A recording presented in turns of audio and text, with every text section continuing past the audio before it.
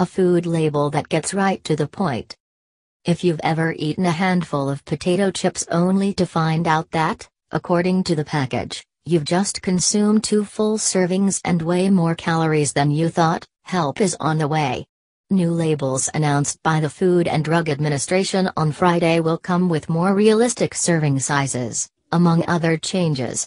But to really help shoppers, the FDA needs a whole new approach to food labeling. The new serving sizes, along with calorie counts in a large, bold font, are likely to make the new labels easier to read and more helpful. A category for added sugars will help consumers distinguish between sugar from fruits and vegetables, which comes with nutrients, and sugar that provides only empty calories.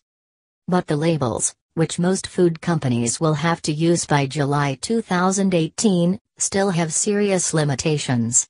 They require busy shoppers to absorb a lot of facts, not all of which are equally important, and then do the math themselves while standing in the grocery aisle.